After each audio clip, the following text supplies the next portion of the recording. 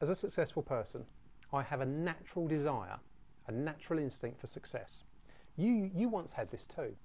When you were a little child and that sort of thing, before the world polluted your mind, you know, a great description. I, I heard, I, you know, a guy told me on an interview the other day, a good friend told me, and he said, uh, the, uh, he said, you know, your mind is like a pot of white paint, right?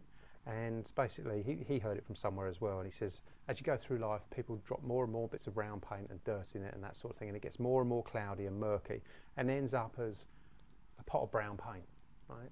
And your mind, mind used to be clear. And I said to him, I said, well, here's the problem. Everybody on earth thinks that they've still got a pot of white paint. And you haven't. You've got a mess going on up there. So what's got to happen is you've got to clean the white paint out.